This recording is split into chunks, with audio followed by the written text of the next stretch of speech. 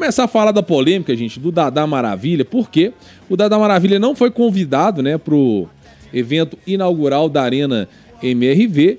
Ele ficou muito chateado, por quê? Primeiro, porque primeiro não foi, não foi convidado.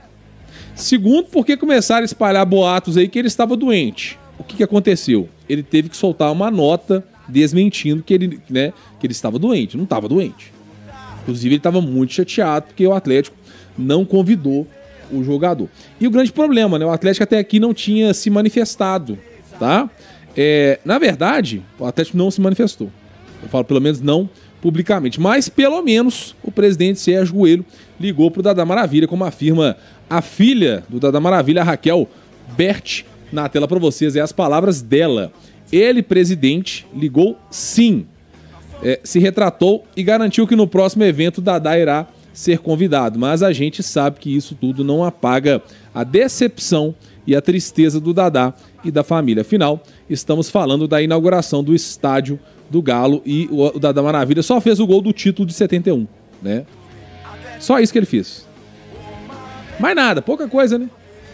Título, título de 71 foi pouco importante na história do Galo, né? Essa estrela amarela aqui no peito aqui, né? Pouquíssimo importante, né? Então, assim, é, é uma situação delicada, tá? A gente fica triste porque o Dadá, eu falei isso aqui esses dias, eu vou repetir. O Dadá, é, ele não só foi um jogador de, de, de, de, de, de gol de título importante, né? Mas, pô, ele foi representante do Atlético lá na bancada do Alterosa Esporte durante anos. Anos. E representou muito bem o torcedor atleticano.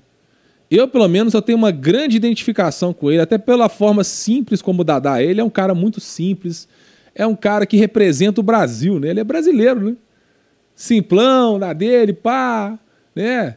Enfim, e um cara que venceu na vida e venceu com a camisa do Atlético. Então eu tenho muito orgulho de falar do Dadá Maravilha, já trouxe ele aqui no canal. É um cara muito bacana, muito humilde, é a cara do atleticano.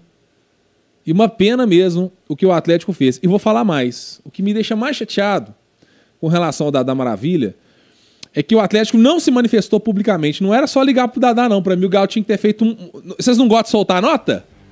O Galo não gosta, gente, de soltar nota? É, é, agora era o momento de soltar uma nota. Pedindo perdão pro Dadá. Esse era o momento de soltar uma nota. Porque, assim, é importante duas coisas. Primeiro, primeiro que o caso ganhou uma repercussão muito grande.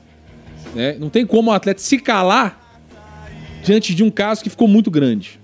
Esse é o primeiro ponto. Segundo, o cara ficou nitidamente chateado.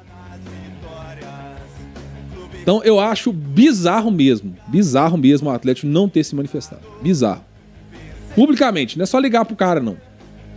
Tinha que vir publicamente falar, erramos, né? tivemos problema. Tivemos problema. Deveriam ter ligado, sim, para o Dada Maravilha.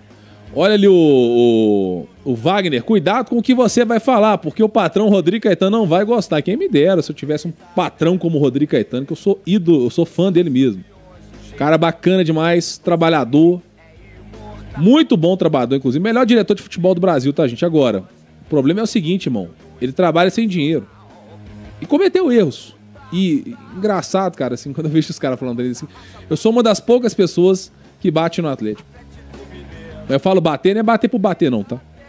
É bater com merecimento, né? Eu cobro quando merece ser cobrado. E aplaudo quando tem que ser aplaudido. Então aqui, meu amigo, o trabalho aqui, é, aqui tem isonomia, aqui tem é, é, transparência, aqui tem opinião de verdade, com responsabilidade, porque tem que ter responsabilidade também.